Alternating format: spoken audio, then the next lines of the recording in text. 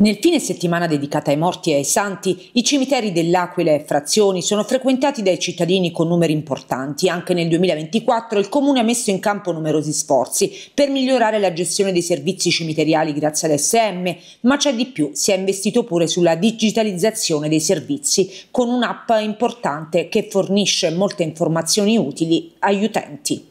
Anche in questo 2024 l'attenzione verso i cimiteri da parte di questa amministrazione è stata elevatissima. Da un lato infatti stiamo cercando di migliorare quelli che sono i servizi cimiteriali veri e propri grazie alla gestione di SM e all'informatizzazione dei cimiteri. Soltanto qualche giorno fa abbiamo reso disponibile l'applicazione Aldilab che permette di localizzare le sepolture e avere numerosi servizi a disposizione.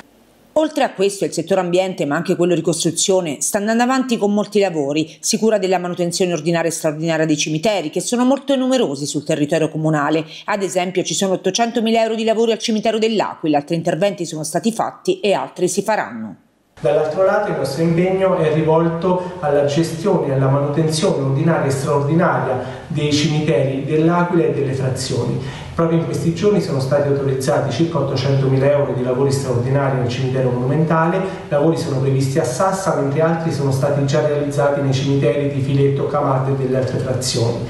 Eh, abbiamo realizzato anche nuovi loculari all'Aquila, 160 nuovi loculi, così come nuovi loculari sono stati realizzati nei cimiteri di eh, Paganica e di Santa Rufina di Roio.